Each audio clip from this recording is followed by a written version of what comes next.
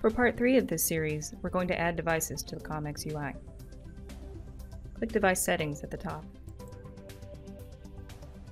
Before you begin, note that all devices must be connected to the Com'X or to an accessible Ethernet gateway. For Zigbee devices, you must have set up the Zigbee network first. You can discover supported devices connected to the Com'X serial port or to a connected Ethernet gateway. If you previously created a Zigbee network in the network settings, you can also discover Zigbee devices.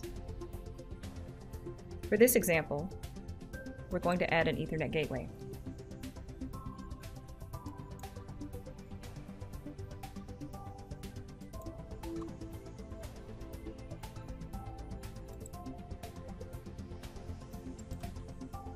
Here I'm adding the IP address.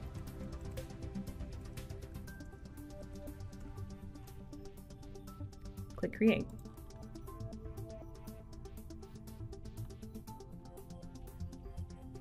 Next, we're going to discover connected devices. In the bottom left corner, click Discover Connected Devices.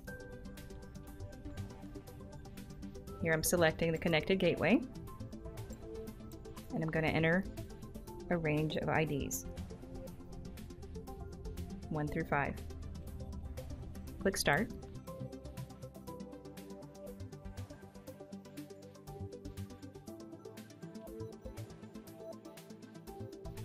Click Create to add those devices to the device tree.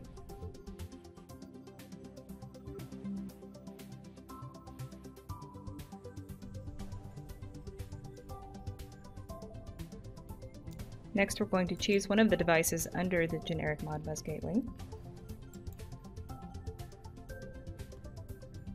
And then we're going to verify under Measurements table that the Com'X is receiving data.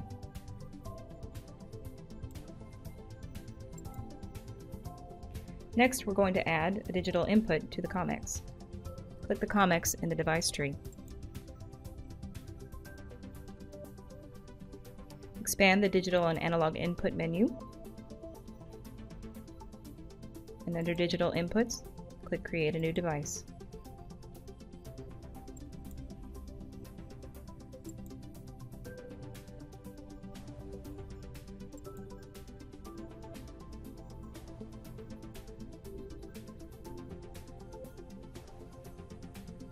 Now view the device in the device tree.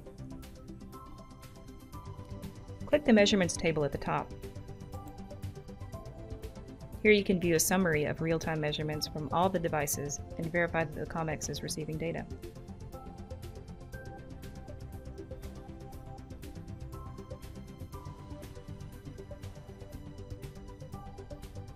Next, you're ready to configure data logging and publication. For more information, visit our website anytime at www.schneider-electric.com. Thanks for watching.